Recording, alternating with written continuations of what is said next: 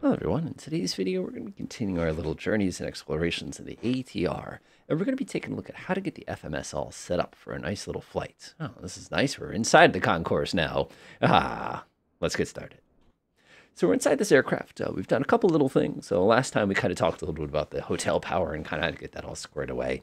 Today we're going to do things a little bit simpler because, because simpler, I think more simple is the technical word there. I'm not going to worry about it too much. But what we're going to do here is we're going to head over to our payloads and aircraft page, and we're going to go ahead and get ourselves some DC and AC power.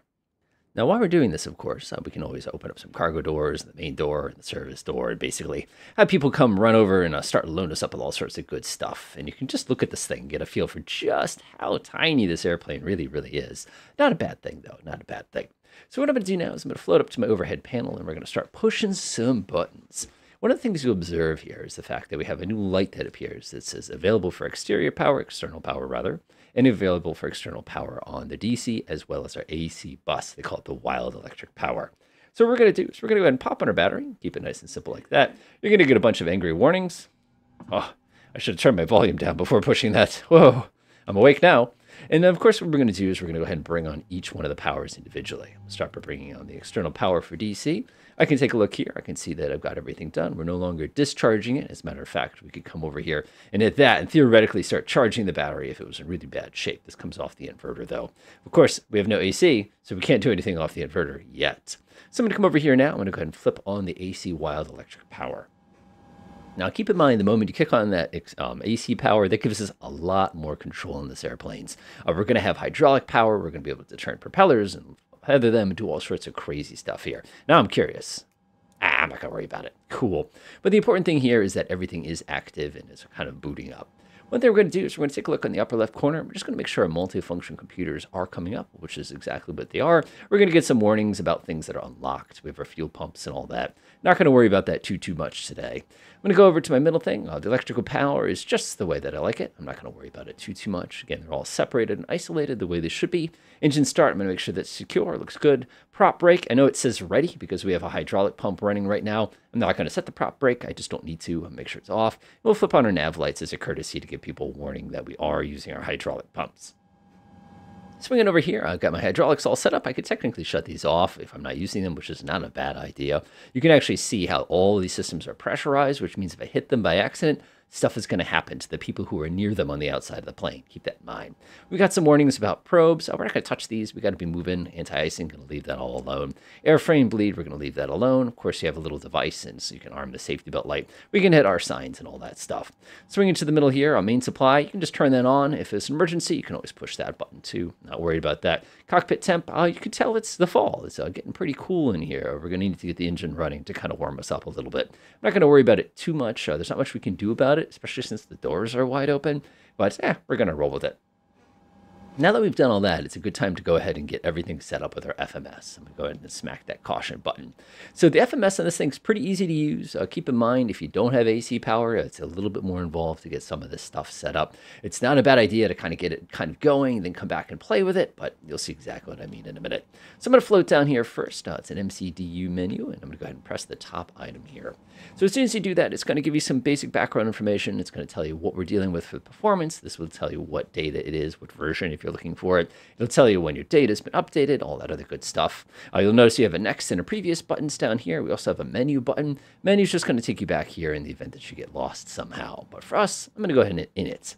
It's going to tell us the date. It's going to give us the local time and everything along those lines. It'll also give us some information down here. Now, this is a much simpler MCDU than you're probably used to working. We'll get the radar starting up, by the way. So what I'm going to do is I'm going to go ahead and hit my POS init, which is going to allow me to, to establish where we are. You'll notice my last position does not agree with my GPS position. No surprise there. So what I'm going to do is I'm going to click on this one, which will copy it, and it'll actually put it into that little box there. Now, that's exactly the way that I want it. Uh, normally, it would ask us to execute, but you can see my init position is now going to be the same as my GPS position. Now you'll see this little sensors button here. You can actually alternate between status and init. We don't have to worry about that too much. Instead, I'm going to go back to the return here. Now that that's done, now we can take a look at our nav data. Like I said, it's all up to date. If we had other databases in here, we could come here and fiddle with that. Not worried about it. We have our weights, we have our perf, and we have our units. Uh, units is basically going to let us kind of configure some things. You can see it's in Celsius right now. Weight, what is a kg? No, I know it's kilogram. I'm used to either. Doesn't make much of a difference to me. So what we're going to do is we're going to head over instead to our flight plan init page. And when I pop this, it's going to ask us, did you want a secondary, secondary, that'd be funny, secondary, or would you like a primary? So I'm going to come up to route real quick, and you're going to notice it's going to ask us where we're going and where we're coming from. Now, we happen to be in Portland, Maine today, so I'm simply going to come down here and dial in the ICAO code for Portland, Maine, which happens to be PWM. And now we're going to do a slash, which is going to let us go ahead and define where we're going. And we're going to be flying down to MHT today, which is a very, very, very short flight. MHT, PWM, MHT. I'm going to just click right here. That's a Manchester. Now, as soon as you do that, it's going to go ahead and light up, and it's going to turn yellow to let us know that it's not ready to rock yet. The reason it's not ready to rock yet is because of the fact that this is considered temporary at this time. If we wanted to save it as a temporary, we could basically dial it in. If we wanted to accept it, we have to press the execute button. Now, when you press the execute button, you're going to notice it's going to bring you to this, where it's going to basically scream at you saying, you haven't done anything yet, fix this. It's going to be looking for how we're going to be getting to Manchester. Let's go ahead and open up SkyVector and figure that out. Now, if I take a look at my map here, or my chart, I should say, it's not a map, you'll notice that there's a pretty easy route to take here. If I take the, uh, looks right there, I can pull this one out of the way for a second. I'm not going to accept it. But you can see very clearly we have the Tango 314, which basically takes us perfectly right there. We also have the Sanford Seacoast Regional Airport that also has a VOR on it. So I'm actually going to grab that, drag that there. And I can see that we're looking for Kennebunk, which is E-N-E, Echo, November, Echo. So I'm going to go ahead and grab that and go run back here. Now, to add that as a particular waypoint, this is where things get a little interesting. Now, if you're familiar with the Airbus method, you come up here, and of course, you can select uh, whatever one that you want to do next. We'll get there in a minute. But for us, you're thinking you can click this. Not allowed. Instead, we simply dial it in. So if I do Echo, November, Echo, and go ahead and click right here, it's going to assume that's the next waypoint that I want, which is accurate. That is the next waypoint that I want. Now I'm going to do is come down here and press the execute button. And you can see it's going to give us some quick estimations here. It's not going to take that long. it's 5 minutes and 36 seconds. That checks. But what we still have to do is we need to get rid of this discontinuity. Now, I don't recommend deleting the discontinuity just yet. I would actually wait on that until you've basically set up all your departures and arrivals. So I'm going to set up my departure by coming up to PWM here, and I'm going to go ahead and dial in what runway we're going to use. Now, you'll notice I've got 11, I've got 29, I've got 18. Now, if I press the next page in the previous, if we had other choices, it would take us down those. But notice all of our standard runways are here. For us, the wind is basically coming due west today, so I'm going to pick runway 29er. Now that when I do that, it's going to ask me, would you like to do a SID and a transition? Uh, today, I'm not going to do a SID or a transition. Instead, I'm just going to boop, press execute. Now, what you'll notice here is it's added an altitude here, which basically says take off from runway 29er, climb up to 1,500 feet, and then turn towards the Kennebunk, uh, that VOR that's just south and west of us here. So that's good. Let's go down to Manchester. Uh, Manchester is reporting about the same weather here. So uh, one of the cool things here is if I want to do an ILS approach or something along this, ah, be careful what button you push.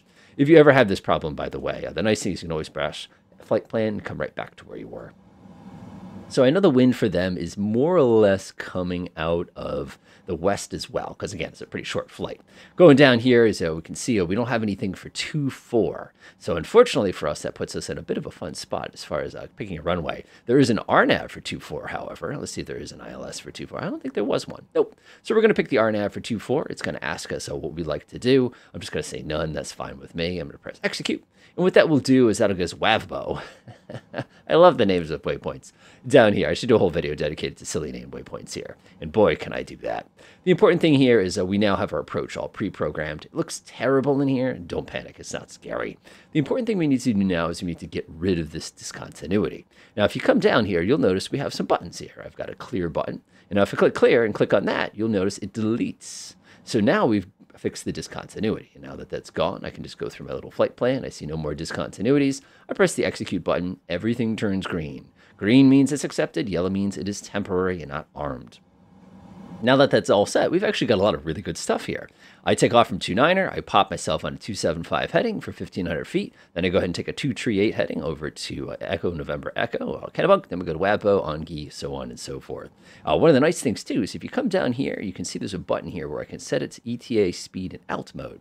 If you click that, it'll actually allow you to select your altitudes. So for example, if I wanted to cross uh, Kennebunk at a specific altitude, if I wanted to do, uh, I don't know, do 6,000 for some some reason. I don't know why I would do that, but I just boop, just like that. And you could actually set altitude cross, altitude constraint. I could come in here and say that I want to constrain it to 6,000 feet. Now, if I press accept here and I actually go back to my flight plan like this, you'll notice 6,000 is now the altitude constraint at that particular location. It's going to expect us to hold that. And then, of course, it's going to expect us to go back down. We can naturally override this, but this is basically what the VNAV is going to want us to do. This is kind of handy if you want to dial in specific altitudes. And of course, we can swing back here, see how we're doing for fuel. You can see we start out with about 3,200 kilograms there. We go down here, we end up with about 3,000 kilograms. That's pretty darn heavy if you ask me. So the next thing we're going to do, now that we're happy with our flight plan, it's looking pretty darn good so far, is I'm going to head back to the menu here, and we're going to come back to the beginning. I'll press my init here. And now it's a good time to go set up our weight and our performance initiation here. So I'm going to pop the weight button. And now one of the nice things about the weight page here, if you look carefully, is the zero fuel weight is 13853. Now, if I float my head over here real quickly and I go to payload, uh, one of the nice things here is you can actually look at your zero fuel weight, your fuel weight, and your gross, I said gross weight, gross weight. And you can actually see that those numbers all agree with each other. The other thing you'll observe is the fact the take-up trim, uh, take-off, is 1.6 in the up position. The reason that's important for us is that allows us to set the trim when we're getting ready to rock. Now, if I move my head over here, you'll notice my pitch trim is at 1.6 right now. One of the nice little things that they did for us to make our life easier is there's actually a button for that. So if you don't want to sit there fiddling with the trim button on your joystick, you can actually hit that button and it'll immediately set your takeoff trim correctly. Trust me, you're going to need all the takeoff trim you can get in this thing. It's a little ridiculous. I'm going to press the return button. And then lastly, we're going to go to perfect now what this does is this allows us to dial in all the critical factors of our flight here. Now this is going to let us put in our flight factor. Maybe we're burning more fuel than usual. It can basically select different alternate airports. And of course it lets us pick our cruise altitude. So for us, uh, we're going to be doing a cruise altitude of uh, 6,000, which like I said, it's a very, very, very short flight. Now the cool thing here is if I wanted to, I could actually change the cruise mode in here. Now, if you remember, this aircraft has a rather unique system as far as maintaining power. If you come over here, there's a power in management switch here. And basically what you do is you crank this thing to the position that you want. So for us, we do take off, then you can do climb, cruise. And when I stick it to cruise, it's going to be looking for this particular value to decide what it wants to do for its performance. Now, there are no other pages to performance here. We're basically ready to rock for this particular moment. So if I were to go back a page here and return, you'll notice everything on board here is completely programmed and we're now ready for our start.